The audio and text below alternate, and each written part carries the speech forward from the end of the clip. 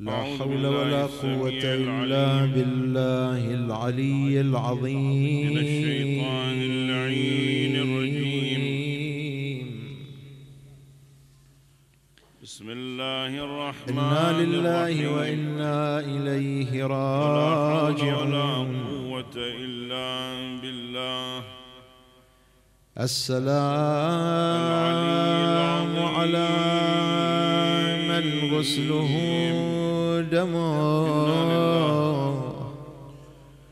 وإنا وشيبه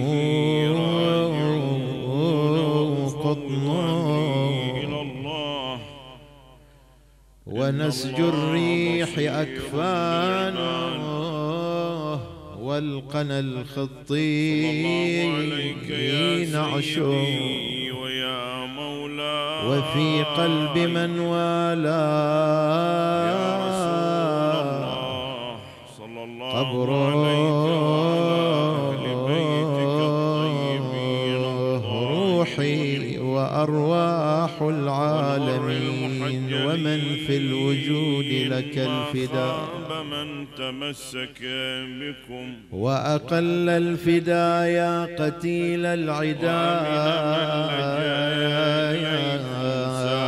ومسلوب العمامة والرداء. وعلى غريب يا مظلوم كربلاء. وعلى أولاد ما للأحبة لا يؤون خلانا.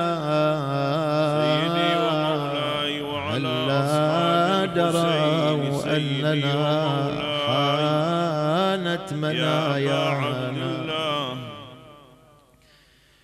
فهل بدا من محبين يوم فرقته ذنب لذاك استحقوا من هجرانا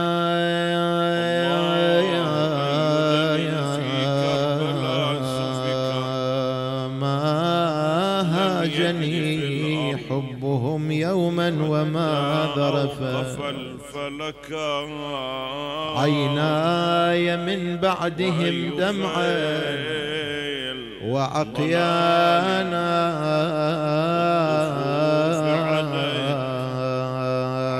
لكن سمعت بشهر فيه قد لبس.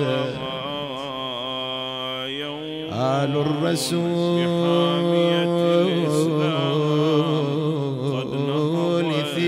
ثياب الحزن ألوانا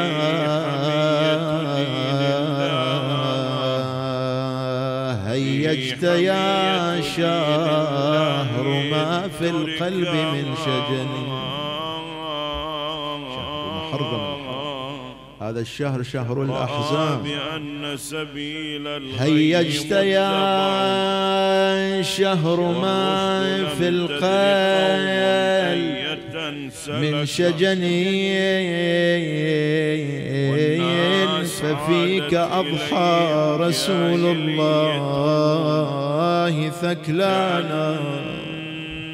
من شرع والبضعة والبضعة الطهر في والبضعة الطهر أضحت في ثاكلة الإسلام تعدد تردد الشجو ألوى ألحانا فألحانا يا بل فيك أضحى. أبو السجاد منعفرا بعرصة الطايا في فوق الترب ملك عطشانا يا أبكي الحسين وحيدا لا نصير له الودك أبكي الحسين وحيدا لا نصير له إلا المهند والخطي أعوانا بسبع السما ضجات وبسبع الأراضي. والكون كله من قلب ضجة على حسين كل من يقول اليوم خويا هل الهلال شكا أوحش جميع الناس؟ من نسوان ورجال في شفاء الرجال تلطم والنساء تصرخ بولوان وهذا هذا يقول لا تضحك موزة. بكل عام بس هلالة هي. يبين علينا. كل ما تم تشوفه بسواد مبرقعين حتى النساء من تنظرها تخلع الزين. تخلع الزينة وهي تسفح مدامع العين. لكن ليس المعزى كالثكون عظم الله لك الأجر يا رسول الله. عظم الله لك الأجر يا أمير المؤمنين. عظم الله لك الأجر سيدتي ومولاتي يا فاطمة. عظم الله لك الأجر سيدي يا أبا محمد الحسن. عظم الله أجوركم ساداتي وموالي أئمة أهل البيت. بعد وين تتوجه بالخطاب؟ هاي الليلة وهاي الليالي وين نتوجه بالتعزية؟ عظم الله لك الأجر يا صاحب الزمان. ويلي وللمصطفى خل الحزين. والناح كله لا ينكشف لك كان شفت شلون شكله. قابض على الشيبات والمدمع يهل. حاسر للعمامة. وجنبه أبو الحسن. بشيد لكن فاطمة سلام الله عليها. كأني بها في وسط المجلس يقول إلا من واحد الواحد. بوسط الماتم تدور بلبس السواد مبرقعة. والقلب مفطور. وتصيح يا شيعة. نحلني شهر أنستني سقوطي جنيني ذبحة حسين. وادعي الخلاص ولكن تحكي لله. ولا حول ولا قوة إلا إيه بالله. عت يا العلي العظيم. عاشور إيه وسيعلم الذين هذا الذي مكتوب لي. من عالم الغيب. آه لازم تعاين. مشهدي. بسم الله الرحمن عالي الرحيم. بلطفه وتشوف السفن تحدي بزواري. القلوب آه لجلك بعد يا دي لأجل سلامة إيماننا بالاسم وتاج رؤوسنا. وحسينا. صاحب العصر والزمان ولتعجيل إنما المرجع لله. ارفعوا أصواتكم بالصلاة على محمد لا حول ولا قوة إلا بالله.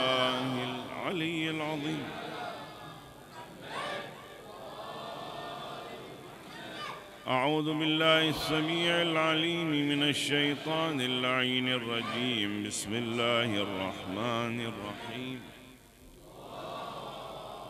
ولا تحسبن الله غافلا عما يعمل الظالمون. إنما هذه الليالي والأيام. ليوم تشخص فيه الأبصار. على محتوى مهطعين مقنعي رؤوسهم. يحتاج لا يرتد إليهم للوصول إلى تلك المعطيات وأفئدتهم هواء آمنا بالله. صدق الله العلي العظيم. طيبوا مجالسكم ونوروا قلوبكم بذكر محمد موسم شهر عاشوراء من دون استعداد وتمهيد لا يوصل الإنسان إلى تلك المعطيات الكبيرة. من هنا نجد حينما نراجع الروايات الشريفة المروية عن أهل البيت سلام الله عليهم اهتماما بهذه المسألة. كثيرة هي الروايات التي تحدثت قد يسأل عن بعض الأمور التي البعض تعد بمثابة التمهيد والإعداد للمؤمن من القلق أو في هذه الأيام. لماذا يمهل الله سبحانه وتعالى الذكر. عنونها الظالمون سلام الله أو الظالمين بمجالس الذكر. والعصاة والجاحدين والكافرين مجلس الذكر الذين بحد ذاته فعالية. عاثوا في الأرض فسادا. يعني ليس من باب المقدمة لا يتصور هذا عباده المؤمن المؤمنين أن محنا الحضور في هذه المجالس هو من باب المقدمة. وابتلاءات كثيرة. لماذا لا يأخذ يحضر هذا المجلس حتى يتعلم قد وعد مجالس فيها تعليم منه إن ولكن من الظالمين المجلس لا يمكن أن. ينحصر في مفردة الانتقام أين هي تلك العقوبة التي جعلها الله. لأمثال هؤلاء الإمام الصادق. سلام الله عليه إنا نحن إذا ذكرنا ذكر. نتحدث. وإذا ذكر أعداؤنا ذكر الشيطان. يمكن أن نقسمهم مجالس التي إلى المجالس قسمين. التي يذكر فيها أهل وإن البيت كانت لهم بعض الجرائم هذا ذكر الله عز وجل. ولذلك تسمى مجالس. الذكر. من واقع وسيرة حياة هؤلاء. النبي صلى الله عليه وآله يلتفت لكن إلى يمكن أن أصحابه. يقال هنا يقول ارتعوا في رياض الجنة. هناك قيل يا رسول الله وما رياض من الجنة العصاة قال مجالس الذكر. فيهم قابلية مجالس للهداية الذكر. وأمل فلا نستصغر قدر هذه. والتوبة. مثل من هؤلاء ربنا سبحانه وتعالى لا شك هذا من لطف الله عز رحمته وجل الواسعة وبركة أبي عبد الله الحسين وعفوه العظيم. حيث لا يقتضيان إلى هذا اللطف ومن خلال. التعاطي بالحكمة. بكل سهولة. لا يقتضيان أبدا مجرد أن يحضر المؤمن في هذه المجالس وهو صادق ومخلص. منع يسجل له حضور مجلس من منع لرحمة يمكن أن تصلهم. ذلك لهذه المجالس آداب. ورب العباد سبحانه وتعالى كما الذكر نعلم تختلف عن المجالس العادية. خلق الخلق إذا أجلس في ديوانية أو مجلس إنسان. عادي أراعي وقد بعض الأمور غضبه، بعض الآداب خلق رحمته فما بالك إذا. حضرت مجلس. هو يعد مجلسا من مجالس الذكر. عنونه أهل البيت بأنه. مجلس ذكر ولا يريد أن. ينتقم أو يتشف ينتقم من أحد أو يجب أن يتشفى في أحد احترام خاص مثل ما. يفعل البشر مع بعضهم البعض شلون. يتلذذون بالذبح شلون يتلذذون بالقتل ما هي خطوات الإعداد والتمهيد تعالى الله سبحانه وتعالى. عن ذلك علوا حتى كبيرا يدخل هذه الأيام إذا هذول إيش يسوي وياهم رب العباد أكتفي بذكر نص يمكن عنده واحد. كبائر نص رائع جميل لكن بعد جداً. اكو قابلية للهداية ذكر في خصوصا أنه إحنا لما نقرأ بعض الروايات. وبعض الأحاديث تقول أن الرواية الله يرويها وجل قد جعل الله مقامه لكل. عبد من عباده أربعين في كتابه كامل. الزيارات.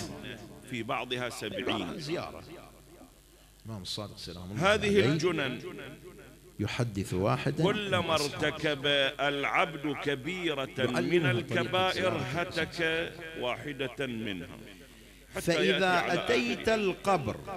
ما يصير إلى شبع فقل الله أكبر سبعة يعني وصل إلى القمة التي وهلله سبعة الأمل في هدايته في عودته ينقطع واحمده سبعة لكن ما دام وسبحه أنه سبعا. رجاء للعودة للتوبة لبيك. داعي الله سبعا. يمهله يمهله لعله يعود لعله سبعا. لعله يتوب بعد ذلك فما الذي يعمله الله عز وجل مع هؤلاء؟ خمس خطوات خمس أمور ذكرها الإمام سلام الله عليه في هذه الجملة المختصرة.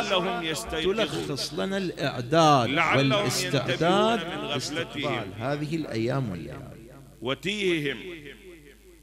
يقول ثم قل سلام الله عليه. يقل ثم قل. سبحانه وتعالى إن يقول كان لم يجبك في كتابه بدني عند العزيز ظهر استغاثتك الفساد في البر فقد أجابك. والبحر بما كسبت فقد أجابك قلبي. ليذيقهم وسمعي بعض وبصري عملوا. ورأيي وهواي. بالتسليم. بعض آثارها. هذه الخمسة الأمور. إذا دققنا. تأملنا فيها. نقف على خمس خطوات. هي خطوات ليذيقهم بعض الذي ليش؟ لاستقبال هذا لعلهم يرجعون. أول تلك الخطوات الاستعداد القلبي. إن كان لم يجبك الله سبحانه وتعالى في آية أخرى فقد أجابك قلبي. مضمونها بالعذاب الأدنى دون العذاب الأكبر. القلب اللائق. بالاستجابة. للحسين سلام الله عليه. أي قلب. القلب المملوء بالضغينة دون العذاب الأكبر. ليش هذا القلب مو. مهيأ ما دام أنه أكو أمل هذا القلب إذا يجب أن يطهر من الضغينة. والحقد حتى يوصلوا إلى مرحلة على الإنسان المؤمن الحريص على أمل على الوصول إلى. معطيات قابلية شهر للهداية أكو. الحرم أو موسم هذا الموسم عليه أولا أيضا لا يعجل. العقوبة إليهم أول شيء نطهر هذه لا يعجل العقوبة إليهم هذه أول خطوة. أولا أن الله سبحانه وتعالى من ناحية الخطوة الثانية. عبد من عباده نصيبا من الدنيا. رزق في الدنيا. وسمعي. فالله عز وجل بالنسبة إلى هؤلاء ماذا يعمل؟ يستجيب. يعطيهم كل نصيب لهم في الدنيا. بأن ياخذونه يكون في ساحة الحسين سلام. يخلصون كل حق لهم في الدنيا. يجون يوم القيامة صفر اليدين. السمع ما لهم أي حق حتى يجازون عليه خيرا. الاستماع إلى ما يشكرون عليه. يثابون عليه. ماكو خلاص انتهى كل شيء. نصيبهم كله اخذوه إذا بالدنيا. هذه الأذن التي هذول جزء. الغيبة هذا جانب. جانب آخر الله سبحانه وتعالى والبهتان. قلت لا يتعجل العقوبة وإنما يستدرج هذا السمع لابد أن يطهر من هذه يستدرجهم تكون لائق. إلى أن يصلوا إلى للولوج في ساحة أبي عبد الله العقوبة التي يستحقون. فقد أجابك ويرتكبون ما يرتكبون من جرائم وسمعي وبصري يكون يحذر المؤمن أشد الحذر حتى أن ينظر يصلوا إلى ما إلى أكبر درجات العذاب والعقاب جنة تدخل دنيا ساحة أبي عبد وآخرة. الله الحسين كلها ساحة طهر.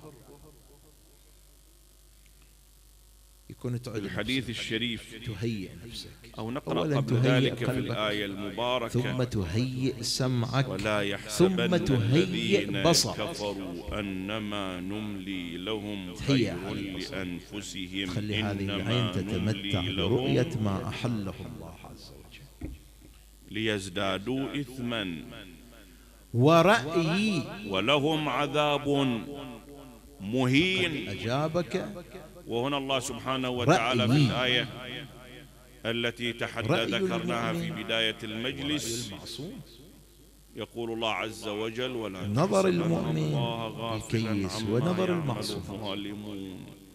المؤمن ليكون إذا تفكر أراد ويجي أن على ينظر إلى الأشياء ينظر إليها بمنظار عاطل هذول الفرصة هذا المؤمن زين ومسامحنهم أو لا أن ينظر إليها على حسابك وعلى حساب. بقية إخوانك من. المؤمنين والمؤمنات والفقراء والمستضعفين. لا. العبارة. هذا لا ما هو رأيك في. الأمر الفلاني؟ إنما يؤخرهم ليوم تشخص فيه الأبصار. أو في قضية من القضايا يكون أحرص أشد الحرص أن يكون رأيي مطابقا لرأي إلى أعلى أعلى. بعد الأمر الخامس وهواه المذهولين أي الميول والرغائب. من شدة العذاب اللي رغبات أمامه المؤمن ميول المؤمن. هذه حالته. مهطعين مقنعي رؤوسهم. لكي تطابق لا يرتد إليهم طرفهم يعني عيونهم مبحلقة؟ هالشكل مفتحة ما يقدر يغمض. الهول اللي قدامه عظيم. شوف هذه خمس خطوات. إذا حتى استطاع هذه المؤمن الإغماضة البسيطة. يقطع هذه الخطوات. الخمس ما قادر يسويها. يصبح مؤهلا لأن يكون في ساحة. الحسين في هذا. ما يقدر يلتفت عن يمينه عن شماله. ما يقدر يطالع ورا. خايف. الفزع اللي. قدامه شيء كبير جدا. أن يهيئ الإنسان لا يرتد إليهم طرفهم وأفئدتهم هواء خاوية من كل تفكير إذا من كل إحساس الإرادة من كل شعور. لعل بعضكم سمع بقصة. هذا اليوم إذا يوم شديد. شاب. في الحديث عن النبي صلى. الله عليه وآله وسلم قاسم. إن الله. يمهل الظالم حتى يقول قد قصة معروفة مشهورة. قد أهملني. وقد يمهل سمعت الظالم حتى يقول قد أهملني. نساني. بعد ما يلتفت هذا. الشاب كان قوي البنية. بسطة في الجسم قوة في الجسم. لكن مشكلة هذا الشاب أنه كان يقترف فيها نكال الآخرة والأولى يأخذه ما كان أخذة رابية. يقولون حتى في بعض الأحيان يعني الخمر. شديدة القسوة. لكن فيه ميزة. وعظيمة الشدة. إذا قرب شهر محرم هذا الله سبحانه وتعالى يتعامل مع هؤلاء. الكلام إذن الله عز وجل. يطمن عباده يتوقف عن. ارتكاب الذنوب يريد والمعاصي يطمنهم مراعاة لحرمة سينالون يوما من الأيام عقوبتهم الشديدة خذ يعني في هذه هذه الرواية عن إمامنا الباقر صلوات الله يعيش فيها وسلامه للأسف عليه إن الله البعض. أملا عدم المبالغة. قديما ما بين الكلمتين أربعين واسعة من الناس شوف يذنب يعصي يرتكب الذنوب. لكن بمجرد أن نبي الله يدخل شهر موسى محرم الحرام شوف يترك كل تلك المعاصي والذنوب ويقبل. رفع كفا رفع. أما اليوم لا. الكف تضرعا. أكو شريحة ترتكب الذنوب في والمعاصي إهلاك فرعون وقومه وإنزال العقوبة. عليهم. ولا تراعي حرمة. الله سبحانه وتعالى أجابهم. هذا الشاب قال قد أجيبت الخصيصة لكن ما بين اللحظة اللي أجيبت وكان الدعوة وما بين اللي نزلت العقوبة على. فرعون وقومه بإغراقهم. يكنس؟ الحسينية. ينظف.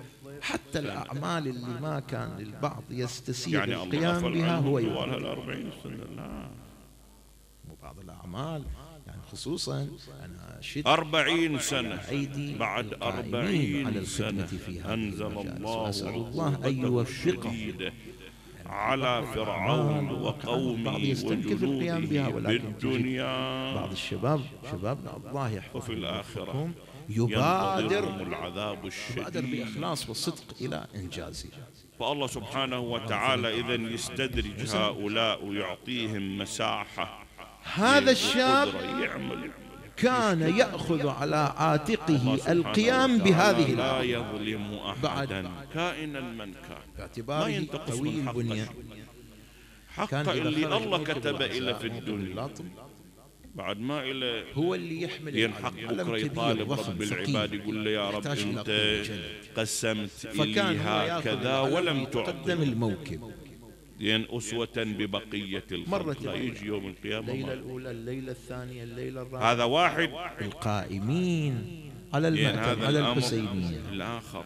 شافوا عدد الحضور يقل المؤمن الله سبحانه ليلة بعد وتعالى حين يبتليه أول ليلة خمسة آلاف. المختلفة عدد المؤمنين هذا لا انتهت العشرة الأولى. وإذا بهي بالنسبة إلى هذا العبد المؤمن بقدر ما هو رحمة بعبده المؤمن. ونعمة لهذا العبد المؤمن. كل بلاء ترى؟ ينزل عليك كأنك مؤمن. لا تتصور أنه تخلفهم عن الحضور. نقمة وأنه عقوبة وألم. عقوبة من الله سبحانه وتعالى أو انتقام من الله عز وجل. وإنما. هو بالنسبة إليك رحمة ونعمة. شاب معروف. في الدنيا يطهر المؤمن. يعطى العلم يحمل يصفيه، علم يزكيه موكب العزاء يتقدم موكب العزاء. حتى يأتي يوم القيامة لا ذنب عليه. ياخذ اجتمعت الإدارة ما قد ما قدر إليه من عقوبة. بالدنيا على ما؟ قصر على ما فعل على ما تجاوز فيأتي. يوم القيامة حتى لا يحضر وهو صاف مصفى. لما صار أواخر أيام الحجة اليوم الأخير من. ذي الحجة قبل محرم الحرام. بلا شك. أكو واحد عامل وأكو واحد مو عامل. بعد ذلك المؤمنون جت يتفاوتون. في مجموعة من أفراد الإدارة. إلى دار في العمل. طرقوا الباب خرج كل المؤمنين بعد ما يحتاج. إلى انه عمليات التطهير لأن قد لا تقف عند حدود واحد من. أفراد الإدارة كان شيخ كبير تجي للانسان هو بالدنيا بحياته. يضيق عليه عيشه فقط لنسألك بعض الأسئلة. من التصفية والتطهير. يبتليه في ماله نوع من التصفية والتطهير. فسأله. يبتليه في جسده نوع من التصفية قال له أتحب الحسين يا قاسم؟ يبتليه في ولده في أهله نوع من التصفية والتطهير. طبعا هذا للإنسان المؤمن الصابر المحتسب الأجر عند الله عز وجل المعترض الحسين. المتأفف لا نفسي وزوجتي وأولادي فداء. بالدنيا ما صار له. في ساعة الاحتضار قد يشدد عليه حتى يصفى. ما وفى بساعة الاحتضار في القبر يصفى. ما وفى بساعة القبر ما بعد القبر يصفى. المهم يتجاوز المراحل أو لا. إلا وقد تحب أن يكون الحضور ضعيف. أصبح قل التفت إلى بعض المؤمنين قد يكون عظيم يحتاج إلى ولا بد أن تكون مجالس. ذكره عظيمة تتناسب المؤمن إلى تلك الدرجة اللي حتى دين هالمواقف كلها هذه. المجالس عامرة لكن قلت بشور بصورة عامة الروايات قال له تتحدث أن لو العذاب أن, أن الآلام والمصائب والمحن والابتلاءات حضوره في, في المأتم يؤدي إلى عزوف المعزين عن الحضور نازلة عليه؟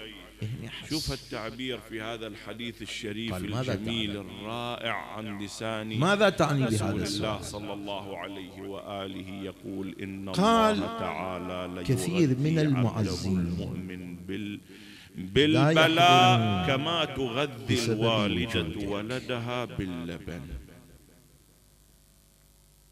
شلون جميل؟ فماذا نصنع؟ يقول يغذيه بالبلاء.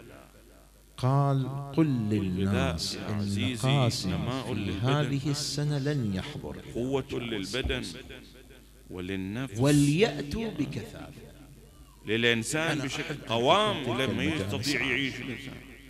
إذا الابتلاء والمحن اللي تصيبك شكر يقويك تصنع منك رجلا. هذا الشاب وهذول شيعة أهل البيت صلوات. الله وسلامه عليه. لكن عند محبة الحسين سلام. عبر التاريخ هم مثل. هم مثل. من أروع الأمثلة. يتعجب منهم اللي ينظر إلى. تاريخهم. جاءت زوجته وأولاده هذول شنو؟ يطلبون منا الخروج إلى الحسين. هذول شنو؟ كالعادة في كل سنة. ماكو محنة من محن الدنيا إلا وقد نزلت عليهم.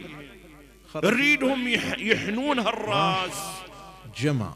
نريدهم يذلون. القطع- قطع من يستكينون يخضعون مثل ما يخضع غيرهم. ونزل إلى السرداب. وعلقها على جدران السرداب. رفعوا قامتهم. وجلس وكل ما ضغط عليهم بالقسوة وأخذ يخاطب الحسين. أصبحوا أشد سيدي ومولاي يا أبا عبد الله. لقد طردوني من الحضور في مجلسك هذا العام. يعني هذول صنعتهم فصنعت. لنفسي مجلسا. هذول صنعتهم لا يطردني قومتهم المصائب والآلام. ما نالت استخرج الزنجيل فهي جزء وأخذ يتمتم رحمة ونعمة بالنسبة للعبد بعض. الأشعار اللي كان يحفظها. وجزء آخر. ويضرب بالزنجيل وهو ينادي حبيبي يا حسين. واحد الله سبحانه وتعالى كاتب إلى. زين في الجنة. إذا مرت الليلة على. حسب عمله الليلة الثانية. الليلة الثالثة. لكن يبتلى الليلة الرابعة. في ماله في بدنه. الليلة الخامسة. فيبلغ بذلك واحد. من إداريي المأتم كان يبكي. بكاء غريبا. قد لا يكون الخطيب. عن ذنب المجلس. و- وهو ما عن متوقف عن البكاء. ذلك. وإنما إكراما. خرج إكراما لهذا العبد المؤمن. قصد لكن إلى دار صاحبه في نفس. الإدارة. طرق الباب فتح صاحبه الباب شاف صاحبه يبكي مثله. الجنة إلى أعلى المراتب. ما سبب هذا البكاء؟ كلام. قال لقد رأيت الحسين البارحة. وتسمعه دائما وأبدا وهو يقول من أنتم حتى تمنعون من تشاءون وترحبون بمن تشاءون في مجالس. وخطابه لولده الحسين. لماذا كسرتم خاطر قاسم؟ رآه وهو على لماذا أسقطتم ماء وجهه بين الناس؟ من بعد أن ضيق الظالمون. رحب الأرض عليه فقط وأرادوا قتله فلم يجد. بدا إلا أن يخرج من ديار جده. مفارقا لأحبته اذهبوا فأتى. يشكي آلامه ومحنه فقال صاحب وما به من أحزان إلى الرؤيا. رسول الله إلى حبيب قلبه أفراد الإدارة. كل واحد فيهم كل. واحد من أولئك الذين جاءوا إلى دار. هذا الشاب يؤكد أنه رأى نفسه جداه يا رسول الله. فقصدوا دار هذا الشاب. جداه يا رسول وصلوا الله شافوا الباب مفتوح. اشهد عليهم طرقوا الباب. جاء ابنه الصغير وهو قد ظلموني.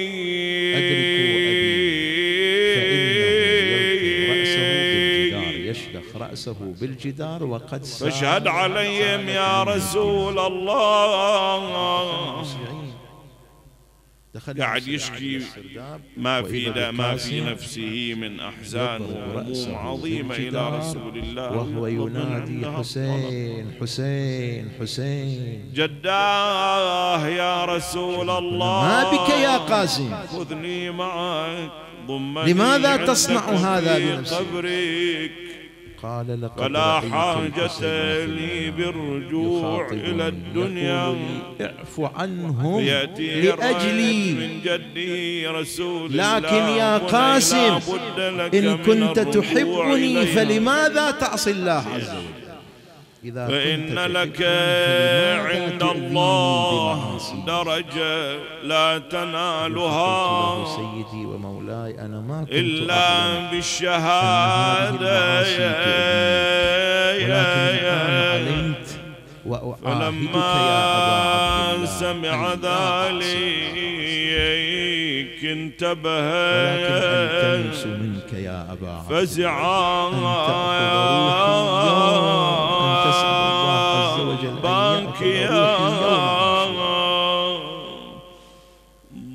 ضمني عندك يا جداه في قبل الظهر. هذا الضريح الشاب أولاد قاسم علني يركضون بالطريق يا جد من بلوى. زماني أستريح. تشييع مهين. خرج الناس لتشييعه. فرط الأسى. لتشييع كبير جدا. كل فس. يقول الناقل حتى نثرت عسى طود الأسى. يندك بين الدكتين جد صفو العيش من أقل صحيح عاصي. لكن لما دخل شهر المحرم هذه الأيام. الهم رأسي قبل إفعال المشي. بعد. بصره. من داخل القبر هواه جعله مع الحسين صلوات الله بكاء قطع هاي الخمس. ونحيب ونداء بافتجاع يا حبيبي يا خلي الشعب. ونداء بافتجاع يا حبيبي حرمة هذه الأيام بالذات. هي الأيام أنت يا ريحانة القلب حقيق بالبلاء. إنما الدنيا أعدت لبلاء النبل. لكن الماضي قليل بالذي قد ينزه بصره عن النظر إلى ما لا يحب الله. عز وجل. يطهر هذا السمع. بني بني بني ستذوق الموت. حتما ينفتح ظلما ضاميا في كربلاء. ستذوق الموت. ظلما ضاميا في كربلاء. وستبقى في ثراها عافرا منجدلا. يا الله يا الله يا الله وكأني بلئيم الأصل شمر قد واهتمام علا. الأئمة عليهم السلام. وحسينا يقول الإمام زين العابدين صدرك الطاهر بالسيف يحز الودجان على دمعة ساكبة على أبي الحسين. وكأني بالأيام من بناتي تستغي. سغبا تستعطف القوم وقد عز المغيث أو شراب إلا قد بالماء. أجسامهن الضرب والسير الحث فرصة للإمام سلام الله عليه ليذكر الناس بمصاب أبي عبد الله في الحسين الأصفاد إلا مغلول اليد وحسيناه ولا يلام على ذلك قام إمامنا بعد أن. ودع رسول الله حينما يقال له وثنى بقبر أمه؟ الزهراء أما آن ثم أخي؟ الحسن ثم بعد؟ بعد ذلك بقية الأحبة يجيب بهذا وعاد. إلى داره يا أبا حمزة هل باكيا يخبر أهله بمقالة رسول الله له كأني. بهم لما أن سمعوا والله كلما نظرت إلى عماتي وأخواتي ذكرت فرارهن بالبيداء. يوم عاشوراء والمنادي. ينادي احرقوا بيوت الظالمين. أجركم الله. أعدت قلبي يا أبو الوعدة حمزة الوعدة راه القافلة. جائزة المحامل للرحيل والخروج من المدينة. بعد أن أمرهم بذلك. لما استعدوا. بمشروب جميعا وتشهير أقبل عماتي يا أبو من حمزة لم يكن معهم بالدروب. لوداعهم بنحل أم عظام سلمة تودع العيش ما بني في دعة الله. يقول أنا ما نكست رأسي ومن لجل بعد ذبح يقول من من جاء جاءت أم البنين. أنا ما نكست رأسي لجل عزيز ذبح الحسين. الصنادي ما قصروا بالغاضرية زلزلا يقدمهم أبو إذا ما الذي. نكس رأسك سيدي قال أنا اللي نكس أربعة دخول وصاحت يا. زينب مجلس يزيد يا حسرة ومن نوح. اليتامى هذا ديدن الإمام زين العابدين. يا حسين. هذا حال الإمام زين. العابدين. دمعة ساكبة على محبة الحسين. يقول من سقطت من عينه لمصرع. الحسين. أبا حتى تصير. على خديه بوأه الله بها غرفا في الجنة يسكنها أحقابا. أقول هنيئا لمن يبكي على الحسين. أحرج ساعة من ساعات وحياتك شوف الإمام ساعة الممات. إي أنا يقول من تكون يا صاحب هالأنوار يما وحياتك. قال ما تعرفني غريب فدوى الفضل خواتك شو تريدين من وراء ذلك. من جزاء يا أنا قلت أم لكم بالأمس، إذا عندك صرخة طلع. إذا عندك دمعة لا تحبسها. ترى هاي الصرخة تشوفها غير شكل يوم القيامة. تقول يا ريت قضيت عمري كلها صرخة على الحسين. أنادي حسين. ويوم الحشور. من تكون يا صاحب الأنوار المضية. وحسينا قال له ما تعرفني غريب الغاب تشوفني بلا رأس ومن نحري أحاجي. وما أنت اللي بالماتم تنادي ويلي عليه نادي حسين نادي حسين حسين ولما مشت القافله قليلا تبكي على مصابي يا شيع شلون أخليه؟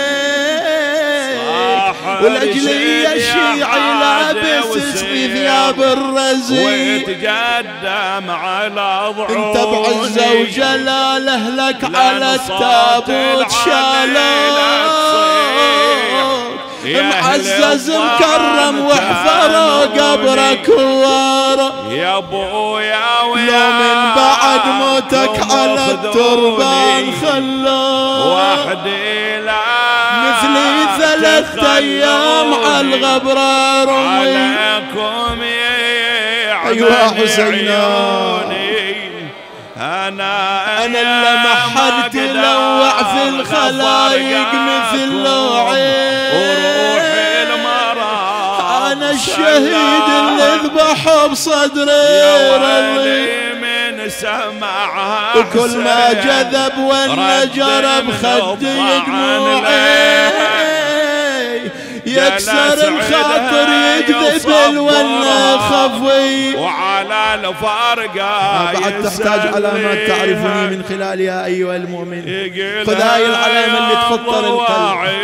أنا الشهيد بكربلاء المذبوح عطشان يا أبو أنا اللي صارت جثتي للخيل. وخلينا ارشد بقصدي. وعظامي وعلقة وراسي على زناد وبنارهم حرقة وخدور الهاشمي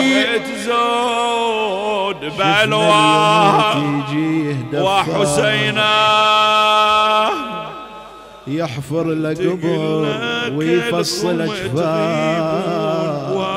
نشفنا اليموت يظل عريان. تقل لك وتلعب عليه الخيل وأبقى بهالوطن وحد لا مات الفتى المعزوز. ياه تصير زلزال. هواس الزهراء واس الزهراء. ترى الصرخة هاي تطيب قلب فاطمة. لا مات الفتى المعزوز ياه تصير زلزال ما تردني من ناس اللي الجفن تنهاب وناس تجيب شيا تقول له يا أبو ابو السجار تغسيله. يدوس هذا طلب غالي. هذا الطلب ما ينقدر ننفذه بنية فاطمة. تقول له يا أبويا عاد خلي ساعد الله قلب العقيلة زينب. أريد أختم لكن تذكرت عندي. إذا عندك حاجة حضرها. ساعد الله قلبها لما وصلت إلى جسد الحسين. يقول الراوي أرادت أن تقبله لكن ما شافته يمكن تقبيله أويلي وتبقى دمعتي بعد يحزن واشطع مجراه. وحسينا وويلاه يقلها يا أبويا شلون عبد الله نمشي وعندك نخلي عليه وين راح تقبل ماشي صبرها قبل من حرك يا فرقة ام عليه. آه كأن الحسين راد ينصب مأتم عزاء. بهاللحظات يا عبد الله الرضيع. ماتم عجيب ريحة علي وامي يا يا حرمل الظالم يا ابو يا حرمل الظالم لاخوك بكربلاء يتاني صايغ لا خيج طوق بس لبسه لبسه بس عليه لوق. كان عاشق ومعشوق يطوق رقبته بنبله وتظل الحشر وياه.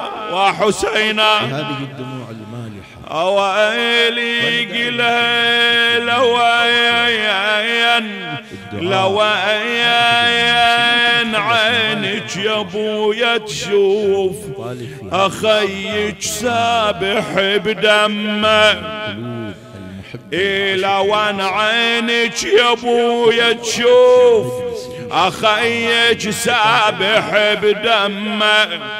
وسدر بيه للخيمة ومني تاخذ أمة نوب تشم وجناته ونوب بنحره تشم. يا ويلي ونوب تخمش بخدها وما يبقى عقل عدها يا أبو يا الله ساعدها. على مدري إيش يصبرها. لو درت ثدايا السوء والبلاء عنا. إيه هذا أصعب ما يكون على الأم الفاقدة رضيعها حين تدر أثناءها باللبن تدور وين رضيعي؟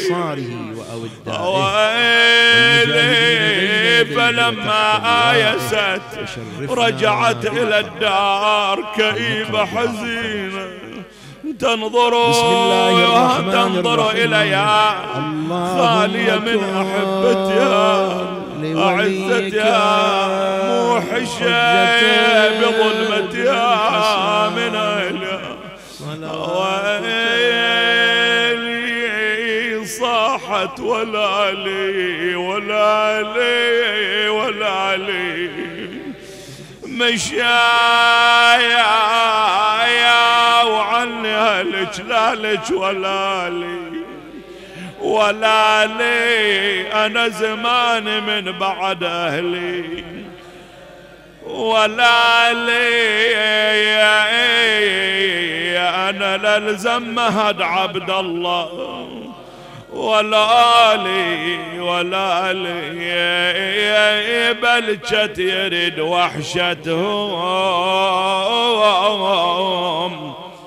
يوم علي.